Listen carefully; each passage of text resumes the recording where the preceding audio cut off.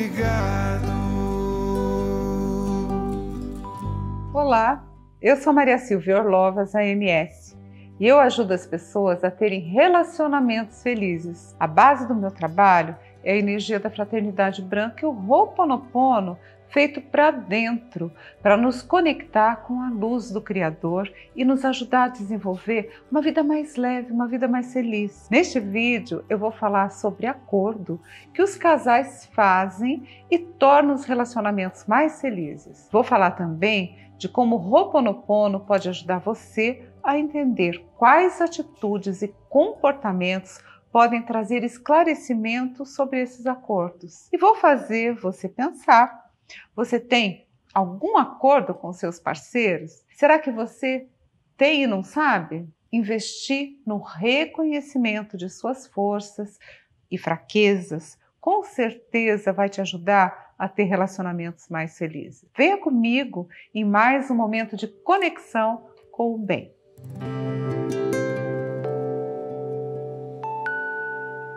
Acordo de casal para um relacionamento feliz. Então sejam todos muito bem-vindos, sejam todos é, acolhidos aqui com amor, hoje na energia da chama azul. Nós estamos aqui na vibração da chama azul, na vibração do nosso amado Arcanjo Miguel. A vida é feita de situações e a vida é feita de acordos constantemente. Tudo é acordo na vida. Mesmo aquilo que não parece que é um acordo, é acordo. Eu conheci casais, alguns até, em que marido compete com mulher, mulher compete com marido. E eita coisa para destruir um relacionamento é quando tem competição. Não pode ter competição. A ah, gente, quando é um tá, acordo. A gente, quando está casado, assim, o dinheiro é dos dois, o trabalho é dos dois, o carinho é dos dois, as coisas que dão certo foram os dois que fizeram, as coisas que dão uhum. errado foram as coisas, os dois que fizeram. Eu acho que tem que ter essa congruência. Sem recriminação, sem apontar Dentro dedo, do né? possível, né, né Fábio? É. Porque a gente, de vez em quando, briga, né? Eu brigo com ele de vez em quando. É, é verdade. Acho que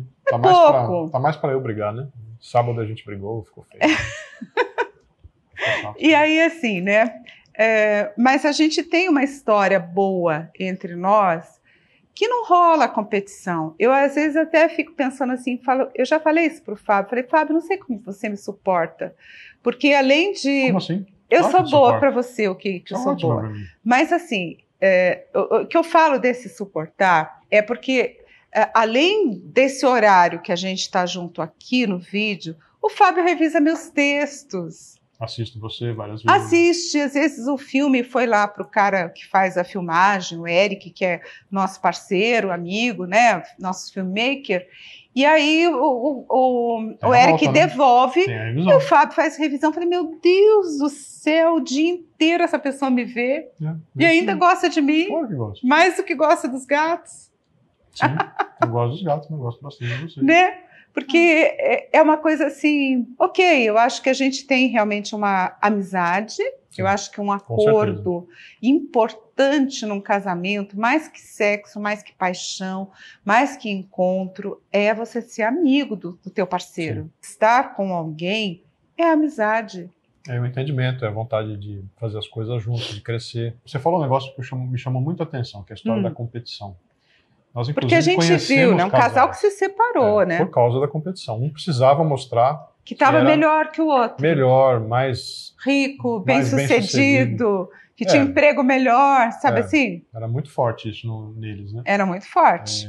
É, Evidente, que... assim, né? Era uma coisa que você via tal. E pessoas boas, pessoas que tinham um trabalho espiritual. Que se gostavam, inclusive. Que se gostavam. Se gostavam. E isso acontece. Então, essa. essa as relações afetivas, elas têm que acontecer pelo amor, pela troca. A gente tem que ter muita paciência no casamento. Muito. Qualquer casamento exige paciência. E tem bons dias e maus dias. E quando as coisas acontecem no negativo, a gente tem que aguentar, porque aquilo também vai passar, né? Uhum. E, e, de novo, né? Eu acho. É, Vou eu lá com as minhas coisas.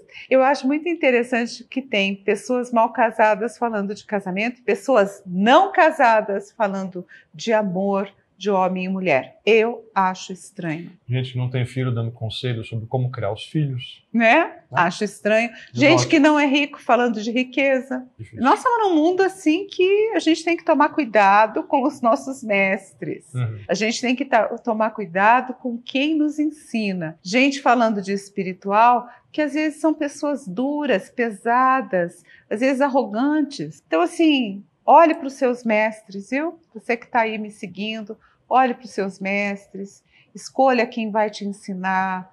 Não aceite qualquer pessoa de qualquer jeito, porque o resultado vem de qualquer jeito também, né? Então, a gente tem que ter essa sabedoria. E qual que vai ser o, o nosso tema de hoje? Então, nós vamos aos- falar de acordos do acordos. Nós vamos falar tanto de coisas que dão errado, Uhum. quanto coisas que dão certo.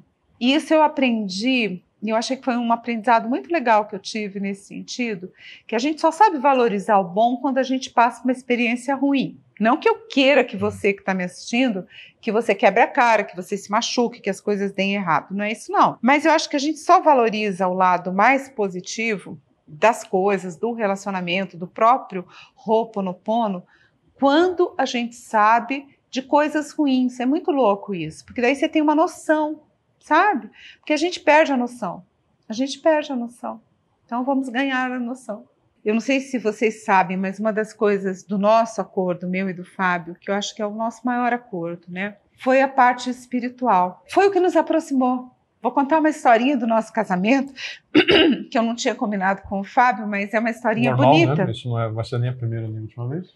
É uma história muito bonita, porque eu conheci o Fábio dentro do grupo espiritual do qual eu fazia parte. E aí, assim, eu conheci o Fábio num grupo espiritualista e eu não tinha nenhuma expectativa de conhecê-lo, porque era um grupo que eu frequentava já tinha muitos anos. Daí, eu- essa amiga que coordenava esse trabalho, ela convidou para um jantar na casa dela e um amigo do amigo trouxe o Fábio. Fato é que eu estava enfranhadíssima no meu trabalho espiritual. Era um grupo que estudava os valores humanos de Sai Baba, fazia mantra, fazia oração. E eu ia todo domingo. Eu tinha um trabalho muito ativo naquele grupo e amava de paixão o que eu fazia ali. E aí eu conheci o Fábio e ele me conheceu dentro desse trabalho, totalmente envolvida, totalmente profunda. Eu não sei como era para o Fábio, mas é, assim que ele me conheceu, ele não entendeu no primeiro momento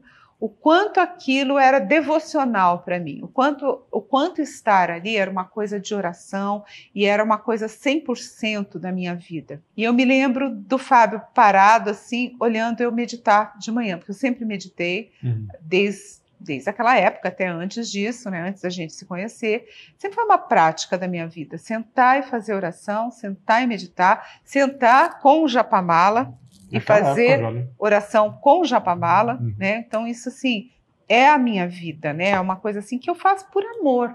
Não tem nenhum peso para mim rezar e fazer o japamala. Nenhum. É assim, é a hora da paz. E aí o Fábio, eu me lembro que a primeira vez que a gente dormiu junto, que nós fomos para Monte Verde, ele eu, eu fui para minha prática, que não é porque eu estava com ele que eu ia sair da minha prática. Eu fui para minha prática, Apesar que é sentei. tentador, né? Primeira vez que a gente estava viajando junto, queria ficar comigo. Mas aí eu né? sentei na cama e comecei a meditar, porque era meu horário, Eu né? Era meu contato com Deus, era o meu momento. E aí o Fábio ficou sentado na minha frente, assim, no chão, né? A gente era um quarto pequeno, um lugar assim. E aí ele ficou olhando e eu só na minha prática, porque era o meu momento. E aí depois que, ele, que eu parei a meditação, eu me ajoelhei, agradeci, rezei, porque eu faço isso, né? E aí ele falou: "Por que você faz isso?" Daí eu falei para ele: "Porque eu eu me rendo a Deus naquele momento da oração. E eu peço que ele me guie, que ele me oriente. Isso é muito importante para mim." E daí eu, eu vi que ele ficou assim, pensando. Sabe quando uma pessoa pensa, fica no silêncio, Não, assim? e olha que assim, eu, eu, eu vim de uma família que tinha assim um hábito de Uma uma prática, prática né? espiritual, né? Que era uma coisa, não era não era religiosidade, mas tinha um, um componente de, de espiritualidade bastante forte, né? Meus pais foram até a série interna da eubiose e tudo mais. Então não é uma coisa que para mim, nossa, que estranho, que escrito. Ao contrário, né? Tanto que eu a conheci num grupo de estudos de espiritualidade. Mas é, eu acho que talvez esse, essa coisa do da prática da constante, né? devoção e da prática constante, para mim era uma novidade. Olha que interessante, né? E aí o Fábio veio para minha vida é, com Sai Baba. E dali, eu acho que há dois anos nós fomos para a Índia pela primeira vez. O Fábio foi comigo. Noventa E aí eu não eu não estava mais com nenhum receio de apresentar para ele o meu mundo, porque ele ele teve respeito ao meu mundo, ele Claro. acolheu o meu mundo. Claro, com certeza. E aí quando a gente foi para a Índia foi muito bonito, né? A nossa primeira viagem para a Índia Foi muito louca, né? para Vamos sempre. ser sinceros. Ah, né? sempre foi. Sempre louco Qualquer viagem né? para a Índia É. é. uma loucura, Tá né? fora, Não é do, fora do nosso normal. É. aqui, né? E aí eu lembro que na Índia o Fábio é, no ashram de Sai Baba era aquela coisa, as mulheres sentavam de um lado, os homens sentavam do outro, né? E eu me lembro bem que eu já tinha ido uma vez, eu estava indo pela segunda vez com ele, e aí é, o Fábio sempre sentava na primeira fila. Sai Baba passava assim na frente dele Pertinho. né? deixava ele pôr a mão nos pés, sabe, coisas assim. Eu lá no meio da multidão, Mimado, né? acabada lá no mundão Eu da mulher, né? e o Fábio ali todas as vezes, por eh, sorte, que na verdade não é sorte, é um, Sorte. um acerto kármico, espiritual, é um Uhum. acordo kármico. Todos nós temos acordos. Por isso que algumas coisas na nossa vida fluem, que é uma beleza, dá tudo certo, e outras não vão de jeito nenhum. Então a gente tem que entender que existem, além dos acordos no mundo material, encontrar alguém, Uhum. não encontrar alguém, dar certo com alguém, não dar certo com alguém, isso tudo é kármico, existem acordos. Isso é real. Isso é muito real. Quer dizer, tem acordos explícitos, Isso. acordos tácitos, quer dizer, não Exatamente. estão claros, mas ainda são desse nível aqui. Sim, E existem acordos kármicos, que aí é difícil se saber desse conhecer exatamente. esses Conhecer os acordos kármicos a gente não conhece. A gente conhece quando a gente conhece o resultado. Quando alguma né? coisa Alguma na nossa coisa vida mostra, né? mostra pra gente que não tá dando certo, você Uhum. pode, opa, existe algo aí. Então, meus amores, primeiro eu, eu, eu sei que eu tô indo profundo nesse tema, esse tema é um tema profundo, porque a gente vai falar de relacionamentos felizes, então nós vamos falar de karma, porque tem alguns karmas na nossa vida que impedem os relacionamentos felizes. Isso Uhum. é da vida. Então eu tô aqui para esclarecer e para falar do espiritual, porque tudo que eu falo de relacionamento e de Ho'oponopono é, é dentro dessa egrégora espiritual. Uhum. Isso eu quero deixar sempre claro. Eu não sou e não, não vou dar uma abordagem psicológica e, e, e mais superficial. Não estou falando que essa abordagem psicológica é ruim. Não é. Só não é a minha. Sim. A minha eu sempre vou falar da profundidade. Sempre vai ter o show do espiritual, né? Vou contar a história da Índia, vou contar a história da meditação, porque é, esse- essa é a minha praia, essa é a Uhum. minha verdade. Então, eu fui para a Índia com, com o Fábio e, e aí a gente começou um processo profundo de transformação e de muita expansão da consciência e de muita humildade também. Eu acho Sim. que isso foi para o Fábio uma coisa de. Foi o nosso berço de- da idade adulta, né? Porque eu era jovem também, mais velha que o Fábio, mas. Não, né? jovens, né? E, Sim. e eu acho que aquilo foi muito importante na nossa vida, porque nos, Foi.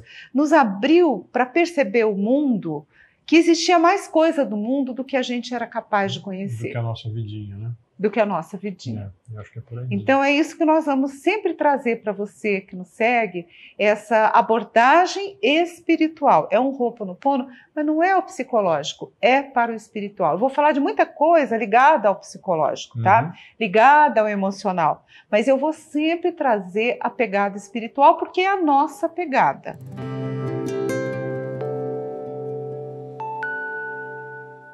Essa definição básica de acordo tem a ver com uma combinação. Pensa em acordo como combinação, com uma decisão, um trato, uma promessa, um compromisso que você faz com alguém que você ama, né? Uhum. No caso, para manter a aliança, para manter a união. E olha que interessante, eu quero chamar sua atenção para um fato bem legal. Todos nós, casados ou não, namorando, encontrando alguém, sendo amigo, sendo parceiro, companheiro, sócio, naturalmente nós temos um acordo com essa pessoa.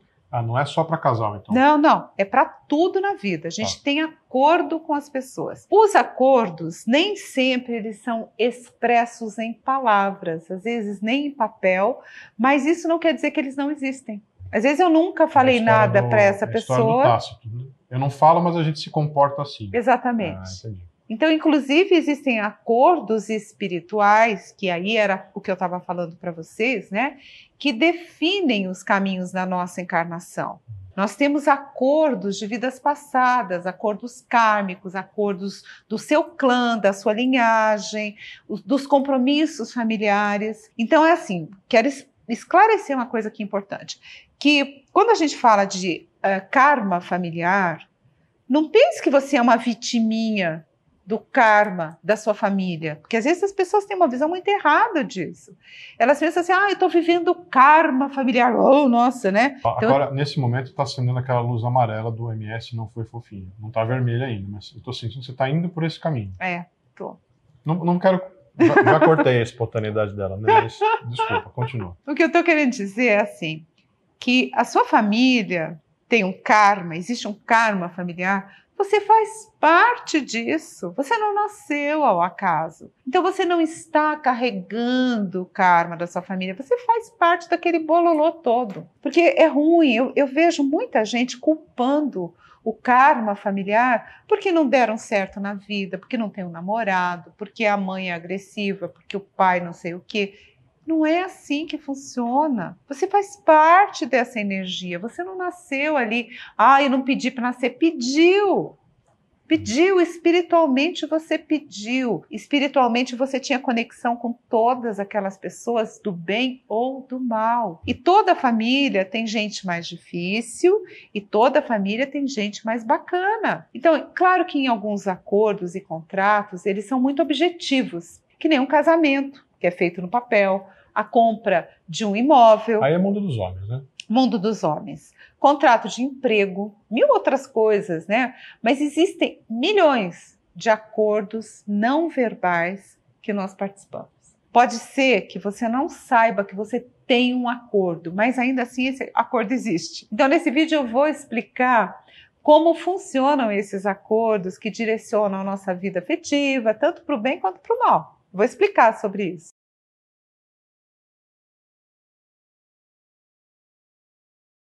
Eu acho que esses, esses acordos, né, nem tudo é feito pelo consciente. Então, algumas coisas, elas estão no astral. E o que eu sinto é que nós precisamos estar atentos a tudo que nós vivemos. A gente tem que prestar atenção na nossa vida. Eu sempre falo que a vida é um oráculo. Você já me ouviu falar. Se você está aqui me seguindo, você Isso- sabe você que eu falo sempre. isso. Porque tudo o que nos acontece, tudo tem um sentido. Se a sua vida afetiva não está boa, com certeza existe um combinado aí por trás que justifica essa condição. Este combinado no astral tem a ver com o nosso karma de vidas passadas. E eu acredito que você, assim como eu, pode estar pensando, né? Nossa, então ferrou, porque como eu vou mudar o karma se eu não faço a menor ideia do que eu fiz, do que eu combinei antes do meu nascimento? Olha que pergunta é boa, hein? É boa, né, Fábio? É Podia boa. ter sido você que ia fazer essa pergunta para mim. É, eu, eu faria essa pergunta, porque é muito difícil você entender, entre aspas, o que você fez de errado se ninguém te fala, né?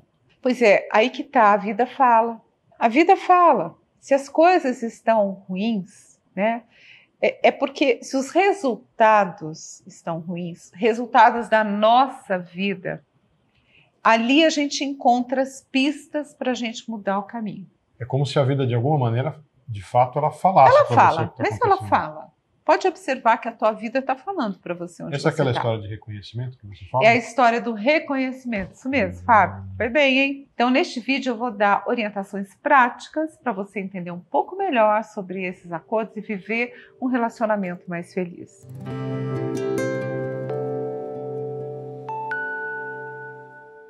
Vamos, vamos buscar aqui. Eu vou contar a história, contar a história da Suelen, Fábio. Suelen. Então, vamos lá. Suelen de Dallas. Isso, Suelen, que não é de Dallas, Totalmente é do a Brasil minha idade mesmo. agora, né? Quem assistiu, eu nem assistia esse seriado, mas já denunciei, né? Tudo bem, vamos Tá tudo certo. Certo. Ela achava que ela poderia viver sozinha.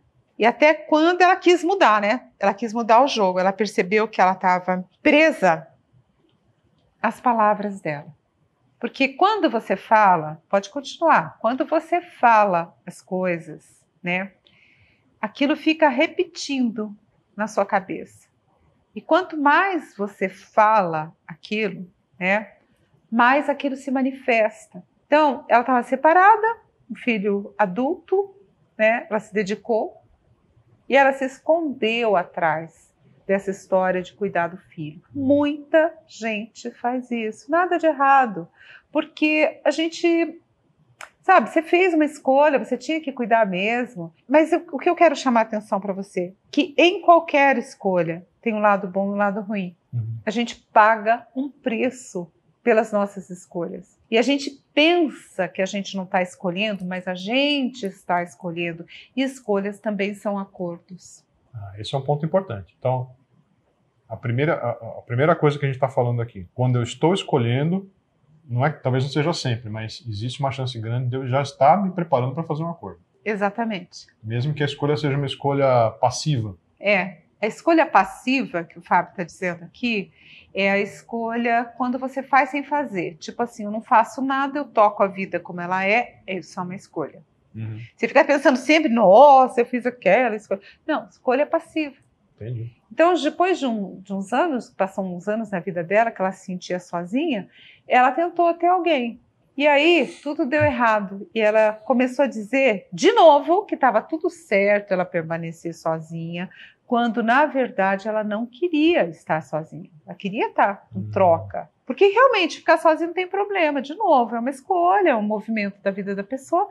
Mas, assim, você tem que estar feliz que você está fazendo É isso. como se ela estivesse vivendo, vamos dizer, uma agonia da solidão, e aí ela reforçava que aquilo era uma escolha para ela, mas na verdade, mais ou menos, né? Agora, observa o, o fato. Ela tinha feito, sem saber, um acordo com o astral. Um acordo aqui no presente. Isso é perigoso. Pensa, toda hora ela dizendo: Eu não quero ninguém, eu estou bem sozinha. Ela reafirmava a condição da história que ela criou para ela mesma. Entendi. E aí, quando começou a fazer o Ho'oponopono, que ela conseguiu captar essa parte, ela passava muito mal. Ela tinha tontura, ela tinha dor de cabeça, ela perdia o sono. Uhum. Por quê? Porque estava mexendo naquela, naquilo que ela guardou dentro dela. E aí, finalmente, ela compreendeu.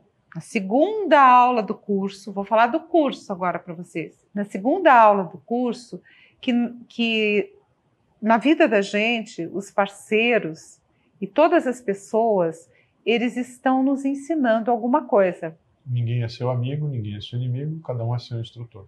É o Exatamente. segundo passo do, do método, né? é o segundo passo. Então, essa, essa energia né, do outro estar ensinando, ela não aceitava. Por Porque que ela como ela sozinha. sofreu, exatamente, Ah, agora entendi. como Nossa, ela é sofreu, se isso, né? Não, eu não acho que é sutil. Eu acho que quando você sofre por uma situação e aquilo pega muito pesado com você, quando você passa por uma coisa muito ferrada na tua vida, aquilo não é sutil, não. Você se fecha mesmo. O mais normal é que as pessoas se fechem. Não, não. é, o, o comportamento não tem nada de sutil, mas o que está por trás desses motivos todos é bem sutil, na minha opinião. É, que ela não não estava querendo aprender com as coisas da vida. Uhum. E você tem que aprender com as coisas da vida. As coisas da vida estão aí para te ensinar.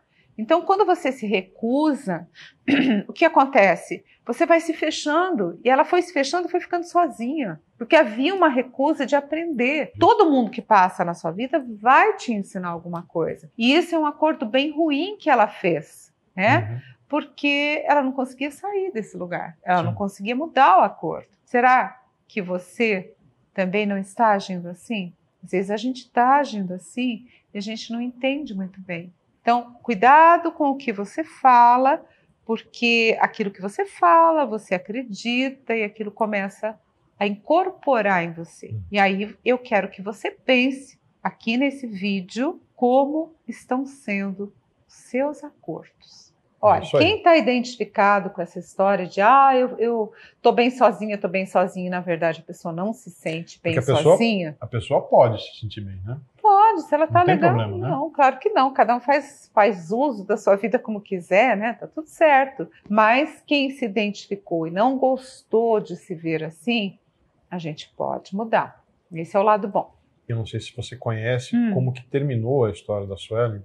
Não, não tem, não tem um fim, sabe? Essa, essa você Isso está foi só um isso tá episódio. em construção. A pessoa descobriu, entendeu, agora ela vai ter um trabalho na vida dela para mudar. Porque é, é, um, é um trabalho. Autoconhecimento não termina. Autoconhecimento no- nos transforma.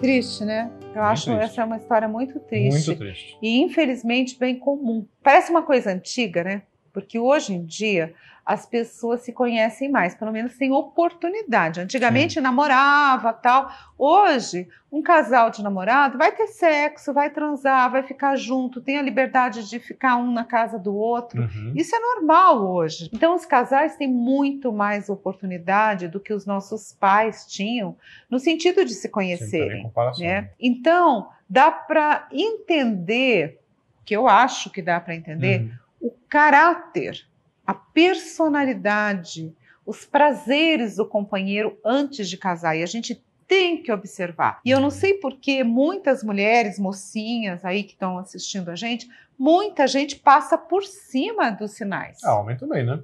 Não é exclusividade da mulher. Ah, é muita exclusividade de mulher. O homem é um. Como né? assim? É. Homem também não presta atenção muitas vezes. É. É Cai que na roubada, presta- né? Não é assim que não presta atenção, né? Parece que as coisas na relação elas começam a aparecer, É. né? O que a diferença é que talvez assim, ou o homem ou a mulher, eu, eu acho que é parecido. De repente posso estar enganado. A mulher é mais tem mais esse comportamento do que o homem. É, eu acho que. Tem coisa que- que você não percebe simplesmente. ou você pessoa, não quer prestar né? atenção, ou não né? quer perceber. Acho que é mais a história de não querer perceber do que não perceber, sabe? O fato é que o casamento, morar junto, pode sugerir mudanças que nem sempre acontecem no mundo real, sabe? A pessoa fica pensando nas mudanças que vai acontecer. Aí nós temos um problema. Sabe qual é o problema? As expectativas. O que a menina esperava do casamento e o que ele esperava do casamento eram coisas diferentes, Hum, né? alinhamento. Né? E aí, acordos devem ser baseados na calma e na observação da necessidade do outro. Então, a gente tem que olhar para as pessoas, nós precisamos estar abertos a nos adaptar ao outro e, ao mesmo tempo, saber dos nossos próprios limites. Se o marido queria continuar com a vida de solteiro, ele, de alguma forma, não aceitou o acordo do casamento. Que muda, né? Você casou? Muda. E aí, o que essa moça podia fazer?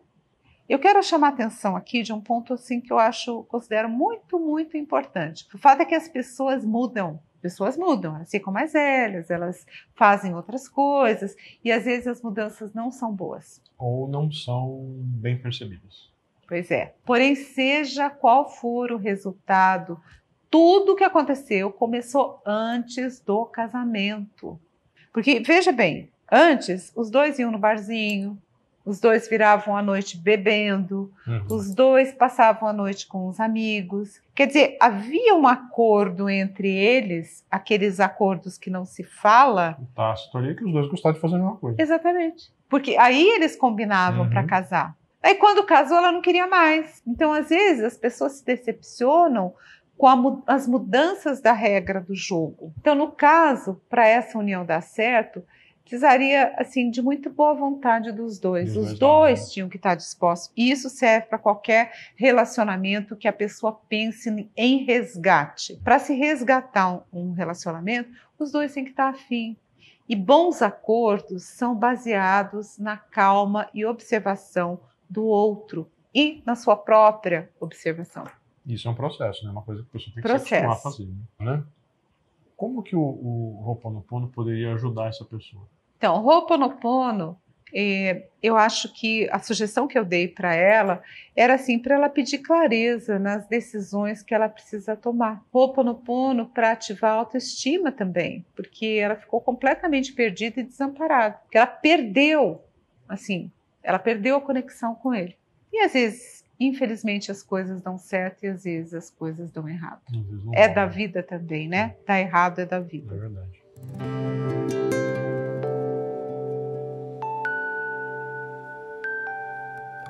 Nossa, se a gente perguntar agora, aqui para você que está me vendo, ufa, quem se identifica com essa coisa de perder a noção de quem você é porque você está casada? Deve ter um monte de gente que está nessa situação. Porque esse tipo de história também é muito comum, porque a, a vida realmente consome a gente. Se você facilitar, o tempo passa num piscar de olhos e aquilo que preenchia os seus dias e que oferecia, vamos dizer, uma mistura de prazer e desafio, de repente aquilo passa. E você fala, meu Deus, onde eu estou, quem eu sou? Hum. Isso acontece muito com as mulheres, porque elas veem os filhos crescerem e depois os filhos vão embora, o que é normal, e algumas mulheres perdem a conexão com o marido. E elas acabam até culpando a família, né, das escolhas que tiveram, dos compromissos que foram assumidos. E eu sinto muito em dizer isso, mas seja como for que isso aconteceu, isso foi uma escolha sua. Nossa, são, a- são tais, são as tais das escolhas que elas não são muito conscientes. É, Escolha sem ser uma escolha consciente. É uma escolha sem ser uma escolha, exatamente isso. E os bons acordos, né, de casamento e de vida, eles são baseados em não guardar mágoas e manter a, a sua beleza, manter os atrativos da vida. Então, veja bem, alguns acordos nos relacionamentos, eles não são feitos exatamente entre os parceiros. São acordos que vão acontecendo, né? é, não falados, são aqueles que são os acordos tácitos. Cada um terá o compromisso de se auto-administrar na vida. Porque você veja Uhum. bem, nesse caso, essa mulher, o marido era, era o algoz da vida dela. Nós ficamos com as pessoas porque, de alguma forma, nós aceitamos as coisas como elas estão, como elas foram colocadas na nossa vida. Nós aceitamos e nós permanecemos eh, compactuando com isso. E a gente vai vivendo. E às vezes o fato de ir vivendo significa que você aceitou o que você está vivendo. É bem complicado isso, mas é, você acha que o- uma situação como essa, onde a pessoa perdeu a identidade, Sim. é, de repente ela está começando a entender que isso está acontecendo, tem alguma forma do, do Ho'oponopono, de você fazer Ho'oponopono para resolver isso? Ou pelo menos para endereçar isso de alguma maneira? Uhum. O Ho'oponopono vai ajudar a fazer as pazes com a vida. Porque às vezes rola em situações assim da pessoa ficar muito deprimida, dela ficar quieta. E às vezes ela está guardando um monte de raiva dentro dela e ela está descontando no marido. E ela não está aprendendo Entendi. lidar com o que a vida trouxe para ela de resultado. E vamos, nós aqui, tentar nos libertar da mágoa, do sentimento de mágoa, porque a mágoa prende a gente, a mágoa segura. O Uhum. Ho'oponopono deve ser feito para limpar essa mágoa, porque quem vive na mágoa vive no passado. E aí a gente não aprende com a vida. Quer dizer, se você fez tudo isso para você, se você criou os filhos e a vida mudou e hoje o filho não está mais com você e você está sozinha e está chateada e está brava ou está triste, é seu assunto, é sua vida. Então aí chega o momento de você investir em você, você olhar para você, bom, o que, que eu posso mudar? O que, que eu posso mudar na minha vida? Aí começam essas perguntas, né? De você com você mesma. Então é uma A- coisa para dentro. A Indira Werner.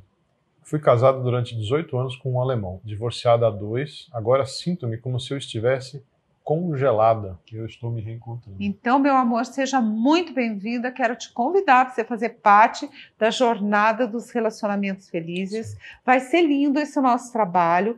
E para tudo que, é- que são questões emocionais, para tudo que a gente vive, existe cura. Existe cura. Só que dá trabalho, tem que investir, tem que cuidar, tem que determinar. Eu falo muito isso no meu Telegram, que as pessoas ficam esperando resultados meio mágicos, né? Ah, eu fiz Ho'oponopono, nada aconteceu. E aí?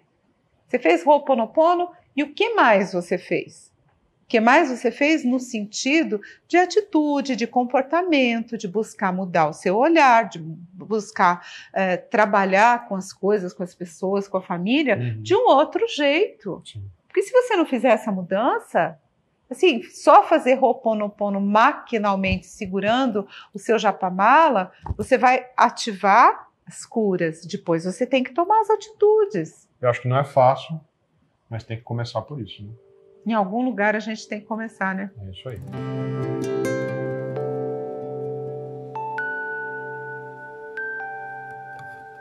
Bom, eu quero te dizer que você fez esse acordo porque você encarnou neste planeta. Aí já não fui fofinha, mas é não. assim mesmo. E, né? Você tem nesta vida aqui pais para cuidar, porque eles ficam velhos uhum. e a uhum. gente tem que cuidar dos nossos pais. A gente tem filhos para cuidar, porque a gente resolveu ter filho. E a gente tem relacionamento para cuidar, porque se você está casado com alguém, seja que tem cinco anos, dois anos, um ano, dez anos ou vinte, você tem que cuidar desse relacionamento. Não maltrate o seu marido, não maltrate a sua esposa, não trate o seu parceiro de qualquer jeito, não faça isso. Porque se você fizer, vai estragar, vai dar ruim. Vai dar ruim, com certeza vai dar ruim. Então, ao longo da nossa vida, da passagem da vida, os cenários mudam, as coisas mudam e pode ganhar peso, isso acontece. E aí, assim, nesse caso de buscar reconhecimento, que eu acho que todo mundo busca reconhecimento, é uma coisa que você tem que ficar esperto, porque se você depender do elogio das pessoas para você se sentir bem, vai rolar decepção porque as pessoas estão pensadas nelas mesmas. Será que o marido também não está querendo ser reconhecido? Será que teu parceiro, a tua parceira, não quer que você chegue e fale assim: olha, puxa, obrigado porque você está nutrindo essa casa. Obrigado porque você é um bom pai, uma boa mãe. Uhum. Às vezes o parceiro, a parceira, alguém que está ali com você, essa pessoa também está esperando uma palavra boa sua. E aí a gente fica só esperando, nós não estamos prontos para ser São Francisco. Não deu ainda, né? É difícil, não estamos lá, não chegamos lá ainda. As coisas são o que elas são. Não foi ninguém que criou a sua vida para você viver. Os mestres falam isso o tempo inteiro. Você é o senhor da sua vida. O jogo da vida, ele vai se armando. E os filhos, quem tem filho pequeno, quem tem filho adolescente, filho vai crescer. Nossos pais, se eles não morrerem antes, eles vão envelhecer. E vai, vai sobrar para alguém cuidar. E a chama do casamento é todo dia, ela tem que ser, de alguma forma, trabalhada na sua energia, na sua emoção. Então, é, quem que fez esse acordo? Esse é o acordo do planeta Terra. É assim que funciona aqui, não uhum. é? E tudo isso depende de cada um de nós. Ser mais feliz depende de cada um de nós. E eu acho muito importante a gente olhar nesse caso, né, do reconhecimento, que a pessoa está buscando, buscando o reconhecimento, uhum. o que que levou você a, a buscar esse reconhecimento para viver mais feliz? Essa é uma pergunta boa. Não é? O que que, que, que levou? O que, que levou essa pessoa a buscar esse reconhecimento? O que, que a gente pode falar sobre Eu posso falar que bons acordos envolvem conversas, ajudas, boas palavras, carinho. E as pessoas têm que investir uma no crescimento da outra. Então, quando alguém se casa, observe que existe uma dinâmica acontecendo entre a relação. Você está crescendo e o outro também. E depois vem os filhos, vem os acontecimentos, o emprego, não emprego, cuidar da criança, né? Todas as coisas que acontecem na vida. E tudo isso faz parte. Apesar de você estar com alguém, né? É, isso não deve ser um peso na sua vida. Cuidar da pessoa não tem que ser um peso. Cuidar das pessoas não deve ser um peso. Uhum. Eu acho complicado achar que é peso, né? E aí você já sabe o que eu vou te perguntar, né? Como é que o Ho'oponopono pode me ajudar? como essa, como que o Ho'oponopono pode ajudar? Então vamos. O Ho'oponopono, nesse caso, é para a pessoa crescer, evoluir hum. espiritualmente. A pessoa precisa assumir a responsabilidade com a sua própria felicidade, com a sua vida. Não é alguém que tem obrigação de fazer você feliz. Você tem que ser feliz porque você está cuidando de você, porque você está aprendendo, né? Então faça Ho'oponopono também para limpar essas crenças limitantes de que você é cobrado, de que você não tem valor, de que você não tem luz. Eu acho que talvez assim, muito da que a pessoa está vivendo é resultado de uma percepção. Muito do que a pessoa está vivendo pode ser realidade. De um É jeito verdade. ou de outro, cabe a ela mudar ou a percepção ou a realidade. Sim, sim. Né? Eu acho que para isso o Ho'oponopono pode, pode de É, é importante atirar, a pessoa né? tirar o peso, né, É. Fábio? Pode ajudar a tirar o peso do que a pessoa está vivendo. Né?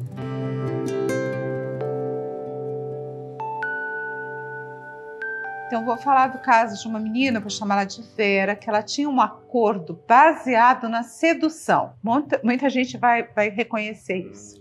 Um acordo com a vida. Ela era uma mulher sedutora.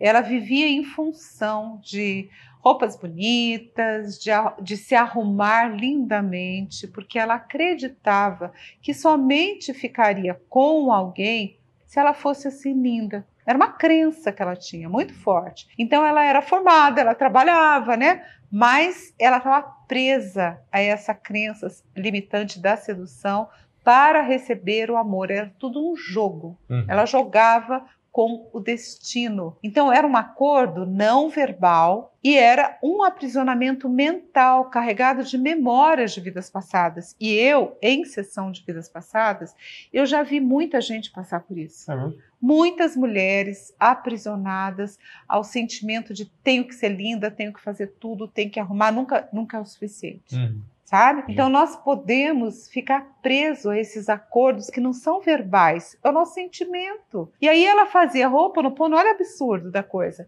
para ela ficar ainda mais linda, ainda mais atraente. E o que acontecia? Ela estava reforçando a crença de que nunca ela estava adequada, bonita para ser amada, Nossa, essa eu nunca tinha visto. Fazer o Ho'oponopono para para ficar mais bonito. para seduzir. Ela Aparentemente, estava reforçando a crença.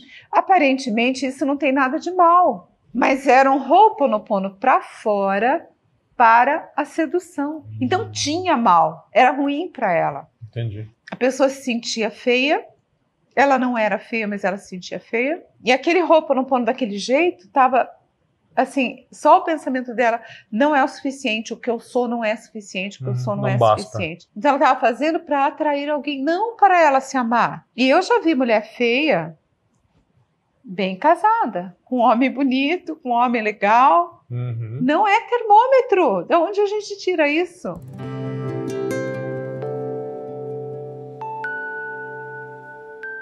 Então, o jeito certo, né? Eu De vou contar pode- uma outra É, história aqui. por aí, né? Tem uma moça que ela descobriu o Ho'oponopono. Veja como as pessoas eh, descobrem o poder do Ho'oponopono. Depois de uma separação. E aí ela estava reescrevendo a caminhada dela. E aí ela foi de cabeça, ela fez o certo, pedindo as limpezas, pedindo aberturas, pedindo para mudar o pensamento. E ela tinha ficado muito magoada com as atitudes do ex-marido, que foram atitudes pesadas para ela, mas ela pediu para limpar nela. E ela resolveu que ela iria quebrar aquela con- conexão que ela tinha com ele e que ela iria seguir para frente sem mágoas. Foi um lindo caso de Ho'oponopono para dentro. Então ela fez assim, não, eu quero tirar tudo o que pertence. E eu quero dizer para você, se você se sente feia, que era o caso da, da outra menina, ela não era Mesmo feia, tá? Ela não era feia, era uma moça bonita, Uhum. e uma moça preparada, estudada, tudo. Se você se sente feia, o Ho'oponopono é para você se amar, se ame. No momento em que você se ama, a vida melhora E você não se sente mais feio. e não se sente mais feio. Olha só. Se você se sente pobre, é a mesma coisa. Tira a pobreza, divindade limpa em mim o sentimento da pobreza. Ho'oponopono também é uma escolha de libertação, né, dos acordos errados e abrir para acordos do bem.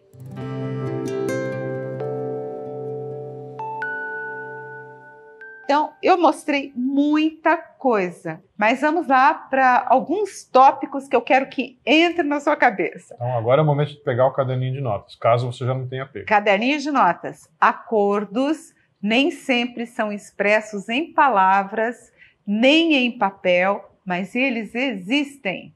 E tem dois. Escolhas também são acordos. Essa vai fazer o povo pensar. Sim. Item 3. Bons acordos são baseados na calma e observação da necessidade do outro. São acordos que são feitos com amor. Item 4. Acordos nos relacionamentos não são feitos exatamente entre parceiros, são os acordos tácidos não falados. A gente não enxerga, não pensa, ah, não tem acordo, não fiz. Fez porque existe um jogo entre você e a uhum. outra pessoa. Tá certo. E cinco, bons acordos envolvem conversas, ajudas, boas palavras, crescimento de ambas as partes e espiritualidade. Essa é a nossa conclusão de hoje.